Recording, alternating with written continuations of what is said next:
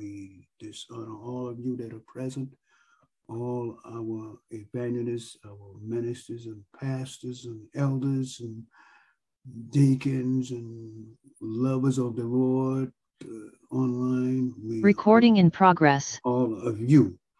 Um, well, today, open up with our uh, 42nd, uh, 42nd church anniversary that God has called us uh, for this ministry here. We, I think, uh, co-pastor somewhere on somewhere, wherever I heard a voice earlier, uh, but we honor all of you and all you who are listening in from far and near. We are grateful. So uh, this will mark our 40, the beginning of our 42nd uh, uh, church anniversary. And you know, their their their celebration is for a reason. Celebration is not just another day at the park. Celebration is not just coming together to eat or uh, do things, but celebration uh, for me is to focus on a particular turning point uh, for us spiritually and the revelation uh, turning point of interest uh, notable in our lives where uh, in the Bible, Israel they had a special day to celebrate uh, too for the deliverance uh, from Egypt. That was one of their great tasks. And you know, it, it you know, you you not only have to be delivered once, you have to constantly being delivered from different things to try to cage you in in life. You know, uh, and I'm sure all of you is quite aware of that. Uh, we go from one to the next because you know the devil's not going to be satisfied every time you get away from him in one area. There's another area he, according to what we was reading, he come to seek, to, kill, rob, and destroy, and he never stopped. So if he don't stop, that's mean we can't stop. I want to talk about getting loose. That's what I want to talk about from the book of Gideon, you know, the sixth chapter. You focus on that, and uh, a point and different things we uh, celebrate in our life. I don't know about you, but you should have something somewhere that you really cherish that is valuable to you and where you you got loose from a situation. It can be a number of things.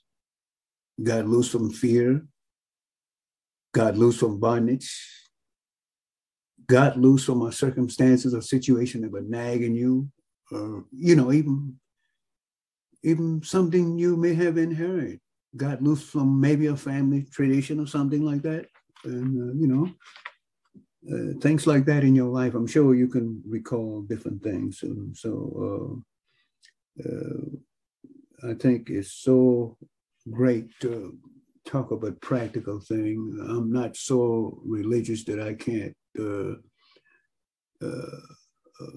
focus or remember from where I come from, remember what used to had me in different areas, and there are many more hills and mountains to overcome. All of you, you know, as we live, uh, we face different challenges in life. Mm-hmm. So I just, if you would focus with me on that, you know, the six of, uh, so we are so uh, grateful, you know, and, you know, I, I, I like that theme that we have at the church that a ship in a harbor is safe, but that's not what ships are built for. They're built for sailing. And uh, when God builds a ship, you know, that songwriter said, like a ship uh, that uh, tossed and, and driven by the uh, stormy sea. You know, uh, the writer had in mind that we are tossed and driven, you know, uh, uh, by storms in life. And we must, uh, we're able to maintain with God help. And I love that, uh, the song that was played, uh, I got to have Jesus because I can't make it, you know, by myself. It's good to know that when we rely on him, all God wants us to remember to uh, rely on Him, and if we rely on Him, He won't let us down. Yep. Uh, okay, let's uh, look at Book of Gideon here, the sixth chapter. Uh, focus with us. We won't be long. We just want to, as far as relevant to life today, let's look at Gideon here. There came an angel, the 11th verse. 11th verse, right? And there came an angel of the Lord and sat under an oak which was in Ophrah, that pertained unto Joash the Abiezrites, and his son Gideon threshed wheat by the wine press to hide it from the Midianite. And the angel of the Lord appeared to him, appeared to Gideon, and said, The Lord is with thee, thou mighty man of valor. And so Gideon said to him, O my Lord, if the Lord be with us, why then is all this befallen us? In other words, why, this King James Version, say, why all this is happening to us? Why then is all this befallen us, and where be all his miracle which our fathers told us of saying, Did not the Lord bring us up from Egypt? But now the Lord has forsaken us and delivered us unto the hands of the Midianite. And the Lord look upon him and said, Go in this thy might, and thou shalt save Israel from the hands of the Midianite. Have not I sent thee? And he said unto him, O my Lord, wherewith shall I save Israel? Behold, my family is poor in Manasseh, and I am the least in my father's house. Uh, I, I just want to, um, I want to, I talk about getting loose. God, yeah, getting loose. Well, only the word of God will will make you free only, because whom the Son of Man has set free is free indeed. And Second Corinthians 10 and 4 to 5 say, For the weapon of our warfare are not carnal, but mighty through God to the pulling down of stronghold, casting down ima- imaginations and every high things, every high things positive or negative things, high mind and everything like that. So, and even low mind too, you know. So you notice when Angela uh, speak, uh, Gideon responds, he, he knew it was the Lord coming to him. So he responds, Oh my Lord. And so uh, he he speak of his inadequacy. Inadequacy. Like I told you, we could be tied, you know. My text getting loose, we could be tied time of doubt, we could be tied to mind too low, too low. We could be tied to ourselves too, you know. You, we, and we got to let go and let God see. So, uh, uh, uh remember, God had earlier, when you check, God had earlier. See, God will you there's some years gap, some time lapse between then and when God told Israel, when you go into the land, get rid of the Midianite. Because see, God knew what was going to happen. He said, get rid of everything. Everything. So they didn't do that. So now it come back. Now God wanted to use uh, God wanted to use uh, Gideon in a way here that going to not only not only change the minds or change how we see things, but it's going to let someone know that God was able to do exceedingly and abundantly and above all we could even ask or even think like uh, you know and that's that's see god is awesome powerful eh? but then our mindset see, our mindset has to change so uh, we have to think different when we have to rely totally up on God because when God says say things to you, you have to consider them deeply.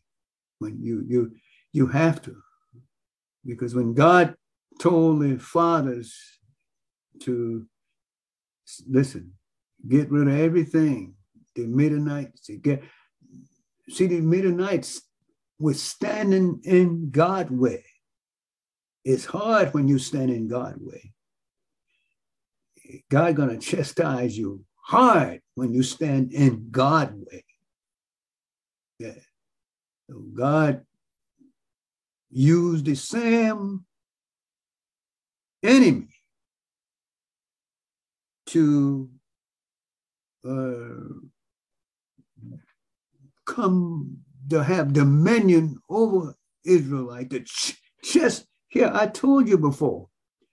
And if you just look up in the up in the verses. When you look up in the verses, you'll see where God uh,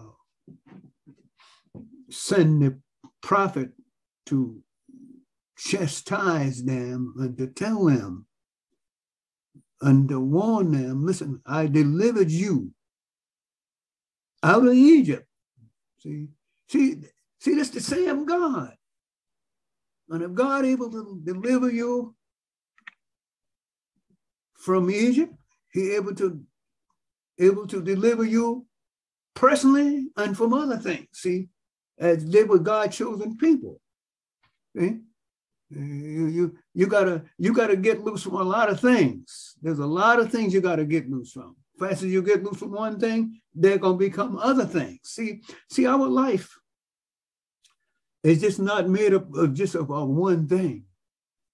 There are many things we got to come through.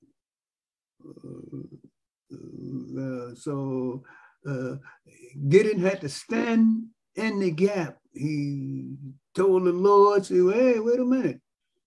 Me? He, first thing God told him, you thou man of Valor. You, you, you, in other words, let me try to give you some confidence. I want you. He said, I'm from the weakest of the tribe. I'm the weakest in my tribe, even. My tribe is the weakest, and I'm the weakest in my tribe. You go, yeah, you, you, you me, that's a tall order. You leave me alone. leave me alone. I'm Uh, you asking me to do something, you know, you you you already you you already had the big fellas. You had Moses them, Abraham them, all the other patriarchs, and you gonna you gonna come to me? My tribe is hardly even mentioned. It's nothing significant about me. So when he the Lord spoke to him, guess where he was? He was so full of fear, so full of doubt, and he was satisfied just surviving. Amen. Just surviving. No, man. I want to make you somebody. I want to make you uh, more than what you think you is. And that's the way God wants us to think. So when you think in that way, then God got a chance. He know your tank is empty. So he got a chance to put some gas in your tank. If your tank is already full, then you don't need no gas. But then God spoke to him in such a, an appealing way until he had to recognize it. What did he say? In that six? Yeah. The angel come and then spoke to Gideon, who was threshing the wheat that was like in a hiding place, a wine press. You don't thresh wheat in a wine press.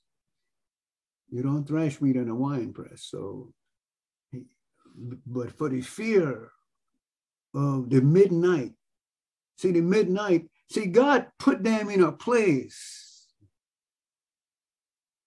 that will actually, the circumstances and situation would just talk to them and here is Gideon in in a place. Now, see, God will pick you out. He'll pick you out to do something. And it doesn't matter what your social uh, economical status is, God will pick you out to do some stuff. And he'll use the least. He'll use less to do more with. So we will know that God can do anything he wants to at any time through whomever he chooses to use to do it with. Now, if that's a high order here. Looking at it literally, amen. Looking at it literally. And but but the weapon of our warfare are not carnal. See? Amen. Oh, this, this kind of hard to receive here. It may not be for everyone, but you have to gear up here. Amen. Empty out your heart and mind. But it's mighty through God to the pulling down. There was a stronghold. you ever had a stronghold? Something that you you dealing with? Yeah, yeah. Whether admitted or whether you remember it or whether you was aware of it or not. Yeah, yeah. I'm talking common language now. God wanted to bring about an awareness. Uh, he, I bring you out of Egypt, man, and I delivered you, and now you you got in these places and you get comfortable I told you things to do way long time ago. I'm just paraphrasing it now, you know, putting it in common today's language. I told you stuff. To, I told you been to get get rid of the Midianite long time ago. Now somebody else has to suffer because of what they didn't do there. That happened, but you have to suck it up. You ain't got no time now to look back there now. Amen. Amen. Time is of essence. Amen. You ever got in a situation where you gotta, there's a word we use, you gotta, a man gotta do what a man gotta do. Well, at the time here, uh, Gideon had no time to look back there in, in the history. We got a chance to look in history. We got a chance to make our future brighter by watching history and using these principles as a learning process for our now and our future. We got to get loose from different things. Here's a struggle. Gideon needed to get loose from his fear. Gideon needed to get loose from his doubt. God gave him a tall order. I want you to deliver Israel from the hands of the of the Midianite. Me? Man, you you asking the wrong party. You know, yeah. See, God's can God see in you what you don't even see. So God wanted to, he said, you, you mighty man of valor. You, uh, amen. You, you, you, you fearful and you listen to the angel talk to you. You ever, you ever, you ever consider God talking to you through various psalms? You ever consider him talking to you? Didn't God ever talk to you through different things and you couldn't forget it? You couldn't just lay it aside? You had to take heed to see God used great symbolism and great graphic signs to people when he want to deal with them. So he was sifting wheat in there because the Midianite would come up and just take what they want. You know, see, now that doesn't mean God not with you. See, God will use something, a situation, to awaken you in the least way you will even expect. He will use this why this the reason you got to pay attention around you. You got to pay attention to different situations and stuff around you. You got to be vigilant. You know, whether being vigilant, we're paying attention. What I mean by that? Watching the hands of God, where God hands at in your life and in society, in the world. God speak through different situations. Ever who's listening, they will hear. God echoes from heaven still yet. And, and them who hear, they will hear. What is it? Say, let the church hear what the Spirit has to say. Well, it's true. You got to listen. Yeah, amen. Listen. Yeah. Mm-hmm.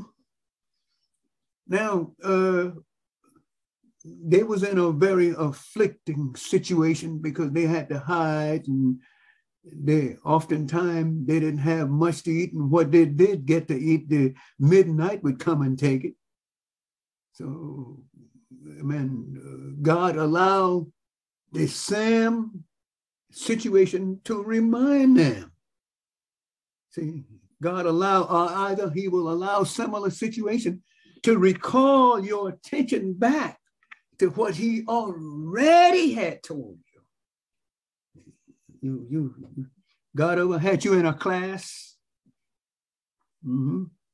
class of remembrance, bring you back to things, and that's the mercy of God to be able to bring you back. Mm-hmm.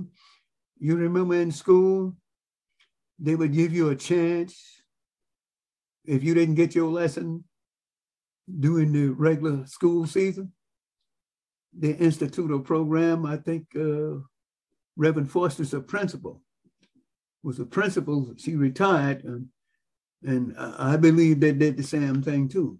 The kids that didn't get their lesson, they would give them an opportunity and to go to summer school. And I think God does that with us too. He does it with me. Amen. Get me back uh, to help me remember and give me the class over again. Remember, Gamble? Remember, I had you in this and you run across the top of it. So God going to get what he want done. And, God, and Israel was God's chosen people. We got to remember that now. Sure. How can God let a thing like that happen? That's what Midian, that's what uh, Gideon asked. You, you, huh? You, God, you let us down. You let all this happen. You let us be in captivity. Amen. Retro, retrospect, looking back, remember that God already told Israel before. Now, when you come into that land, I want you to get rid of. And God had his reason. See? See, God, God had a reason for for telling uh telling Israel to get rid of get rid of the Midianite, get them out of there. I already told you. I told you what to do because I know either three or four things going to happen. You you're going to pick up the bad trick from them. Hmm? Are they going to persuade you to start serving idol? See, you got to watch, you know, what he said? You got to watch your environment. You got to watch where you hanging out at. You got to watch who you associate with and stuff. Can oftentimes pull you back, but God is a jealous God. So God used them Midianite the same Midianite that he told them to destroy before, he used them to come back and terrorize them. So he had getting, wait a minute, the people I called before, I want to go to the lowest. I want to recover you from the lowest common denominator next to nothing. Well, that's the way Gideon looked at it. I want to use you. This is why Gideon was so amazed when, when, when the angel told him, spoke to him, God spoke to him through the angel, said, you know, first thing he wanted to inject some hope. Man, I want you to take your head, if I may speak, I don't want to be so political, take your head out the sand a little bit. Take your head up, hold your head up, I know you're fearful of what's going to happen. I know you want to survive, but no, God is more than just survival.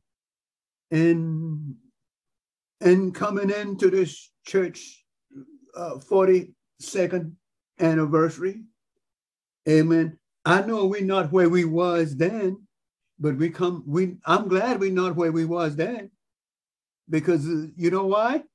because uh, Hebrews 6 and 1, this tell us, you and I, plainly clear, it, as the King James said, therefore leaving the principles of the doctrine of Christ, let us go on to maturity, or some translation said to perfection, making some distance between you and your starting point.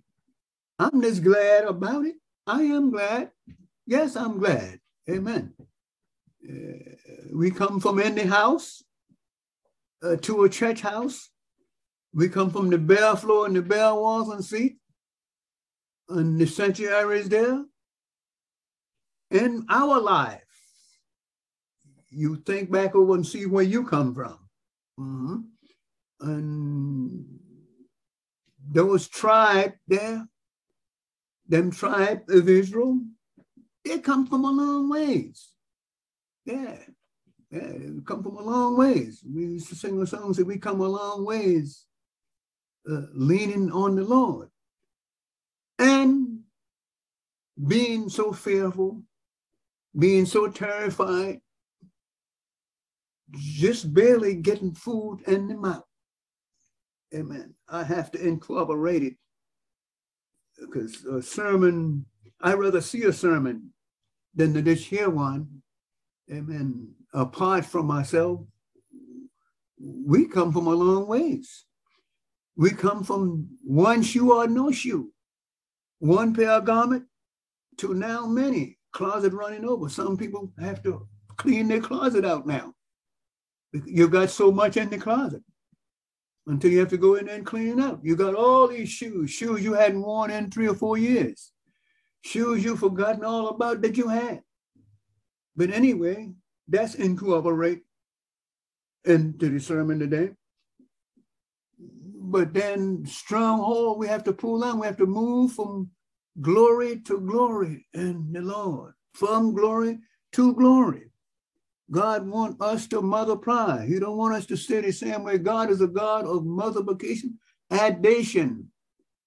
Yeah. Subtracting in a way, taking away the things that not gonna get us nowhere. So sure, of course, you're gonna subtract that. Uh, better known is uh, take off, taking off, and putting on. We got to know what to take off. We got to know what to put on. So God used Gideon here to, to do something that he he didn't ask other high up tribe to do. He used the least in the, the least tribe and the least person in the tribe. Aren't you thank God for Jesus? Aren't you thank God for for being in your life? Oh, I think I'm for being in mine. Amen. I use a term, most people don't like it. I use the term from plantation to salvation. They say, you're not from no plantation. Well, you only can share a crop on a plantation. Where you going? Where else you going to share a crop at? Exile plantation. Amen. Working from dusk till dawn. Uh, uh, one pair of shoe to no pair. Garment, you wash it at night, dry it in the, before the fire, have it ready for the next day. I'm talking reality. That's all. I'm just trying to get you to see where God brought you from. And and and uh, the sixth chapter here, uh, look where God brought them from, from places, but yet they fall back. See, he, God is a God. He loved backslider. He married to backslider. I don't care how far you fall. Amen. God arm is so powerful. Amen. He can reach from one side of the earth to the other side. Amen. From heaven to earth. That's his glory. He can do that. He's so powerful. Amen. Don't think, don't think God can't catch you if you're falling. Yeah. Amen. And so God loved Israel. He chose them. He used Gideon here. Amen. Amen. To all the people of faith here to win victory. Yeah, to gain victory. And this, this, God is so powerful and he's so awesome. Look what God can do. God can change circumstances and situations look like impossible here. It was impossible to Gideon. Me? Yes, you. I want you. I want you to go save Israel. I'm going to save Israel. Yes, you. Give him the instruction. Yes. But he had to be assured. You somebody say, well, don't question God. Oh, yes. God wants you to question him. Things I serve a God, I can go to him. I serve a God, I could pray about the same thing more than once. Amen. Somebody said, if you pray more than once, then you don't believe or tr- oh no, no, no, no, that's not true about me. Not about me. If something I don't understand, I got a God. I can go to him. I can go to God in prayer. I can cry out to him as many times as I want to. Some I don't understand. I'm, I serve a God that gives me understanding. He that lack wisdom, let him ask of God, and he'll give something I don't know about. Let me ask. I may sound literate to men, but to God, I'm just right. God wants us. I think sometimes our pride, we have so much pride until we are ashamed to ask God over and over. We don't understand stuff. I know I'm right about it. Don't let your friends around you intimidate you. Don't let your friends around you box you in a cage until you so full of pride. Stop. You, you. Sometimes you better disconnect yourself.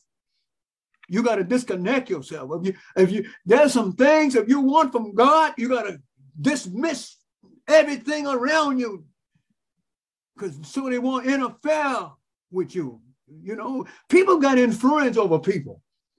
You know, people do have influence over people. You, you got to denounce all that stuff, throw it out the window. Uh, uh, this is the case with Gideon. Gideon had to throw everything out the window. God satisfied him. He went to God and asked God, and God give him the answer and said, I'll be with you. Yeah, yeah, yeah. You, if you're not assured, you can ask God, and God will assure you. Yeah. So I don't want you to box yourself in by your associate or people around you you're connected to. You got to disconnect yourself. What scripture said. So you got to steal away. You got to steal away in your secret, secret closet. Steal away. It's you and God. Steal away and go into your prayer closet. When you come out, you want to be renewed because you had a, a one-on-one, a close-up one-on-one. Ain't nothing like a refreshing from God when you get a close-up one-on-one. You come out delivered from yourself, delivered from fear, delivered from insecurity, delivered from inferiority. This is where we come from. Come from some place to some place. Come from the bottom to the top. Amen. What he, what he said, said the last shall be first and the first shall be last. Yeah. Amen. If you feel like you last on the list, God can make you first on the list. Amen. Praise God. By your submission to him. That old enemy, James 4 and 7 said resist, but then to submit first. You can't resist except you submit. You got to submit yourself first to God. Submit to the will of God, and God will help you see straight. You know, you may be cross eyed now. I don't care if you cross eyed physically, God will help you see straight. He'll give you a, a new, what is it? A new eyesight and help you to see straight, help you to see things that you couldn't see before. This is what God will do for you. Listen, I, I, want you to catch on to this sermon, please, because this sermon will help deliver you from insecurity, amen, and all, all those past situation. Don't base your future on past stuff. If you you will about your future, what God can do for you. Look what God did for Gideon. God raised Gideon up to a point where Gideon was ruler over Israel for 40 years. A man, the weakest tribe, God will take the less and do so much with it if you're willing to take the first few steps with God by faith. Your faith is the one that's going to do the job. Your faith in God, God, He cherishes our faith. I don't care who you is, what your source, uh, uh, economic background is. God, God could take you from the bottom to the top. That's what he can do for you. The last shall be first, and the first line, if you show your faithfulness, it's your faithfulness to God they're going to work for you. Your faithfulness to God going to bring you to the forefront. And you, you might have been on the back. He might have been down in the bottom of the wine press, but God pulled him out of there, pull him to the top. You wouldn't know if you check the background of him. Amen. Is this the same man that was so fearful down? I mean, so fearful for his life, so fearful just trying to survive. God get you out of the survival mode. Amen you're in survival mode, God don't want you to remain in, in just survival mode. And I'm about through here. This is just part one of this situation. I mean, this is what God will do for his mighty people, the people of God.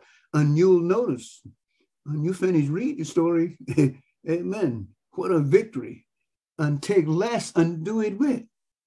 You don't need all what you think you need. And I have to keep telling myself that. You don't need all what you think you need. Amen. Not that trying to, I'm not speaking about playing Lone Ranger. I, I have an answer for that too. Amen. Amen. But you don't need all the stuff you think. Some stuff will get in your way. Amen. Get out of that wine press sipping wheat. That's not where wheat is sipped at in a wine press. But he did it out of his insecurity, out of his fear. Amen. So get loose. Get loose from the past. And get loose from things that holding you in your present that you can't move. Amen. This is the 42nd year I ain't where I want to be yet. I'm not where we where I was. We're not there. Hebrews lead the principle of the doctrine. Let us go on to uh, uh, maturity. Yeah, amen. So don't stay where you was. Somebody say, I'm not what I want to be yet, but I'm not what I was. Amen. And you know, the devil will try to sell you and bring stuff back to your remembrance. Somebody said something to me. Uh, I think my wife uh, was in Florida, and she said, I didn't even know it. I didn't even know it. She said, Oh my God. Said the word of God was awesome. I said, Well, I didn't know it. I didn't. You got to speak word of God. You got to call those things that are not as though they are. If you keep rerunning, replaying, rerunning, replaying, call the things that are not as though they are. Keep on speaking the word of God. Guess after a while they'll take hold of you. What he said, can bitter and sweet water come out the same fountain? That's a personal question. I'm not answering it. You got to answer it for your own self. But I know for me, it don't come out the same fountain. Amen. Because it can't exist. Amen. Either you prescribe to God and fully, or you not. One of the two. I'm going to stop for today. Okay. So please get loose. That's what the text was. Get loose. You got to wiggle loose somehow. And God help getting to get loose. God, he get loose from his fear. He get loose from his insecurity. He get loose from being the bottom. Amen. And God put him to the top. He ruled for 40 years afterward. That's amazing. That seemed what impossible to man or what impossible to me. Sometimes you got to point yourself out too. You ever call yourself out? You have to call yourself out. The minute you admit to yourself where you at, that's when you on your road to victory. That's your first step. It's calling yourself out. Lord, I, Israel couldn't do, couldn't move until they say it's our fault. It's our own fault that these calamity has come upon us. And that's exactly what happened here because of Israel. God already bring them from Egypt. God already bring them cross, do cross, God already do some magnificent thing. Amen. And what he done, he God, the same God today as it was that deliver you yesterday. If he delivered me yesterday, then he could deliver me today. God bless you. Thank you.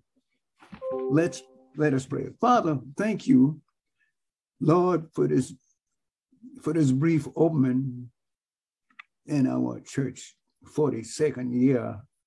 Thank you for what you've done so much, and we can't tell all. We just uh, show our gratitude.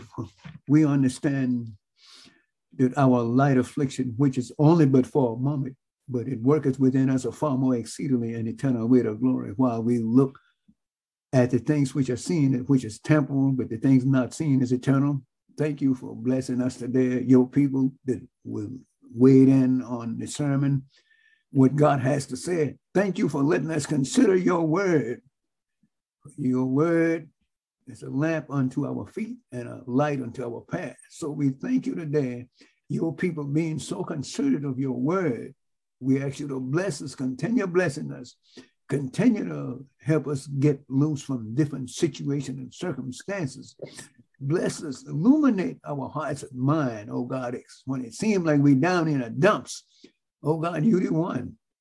We are right where you want us, so you can pull us up so we could show our gratitude towards you. So we are grateful how you blessed today and put out many illustrations of your word. We bless somebody, oh God, might might be going through a situation, might be going through a slump, might be feeling like they're down in a valley.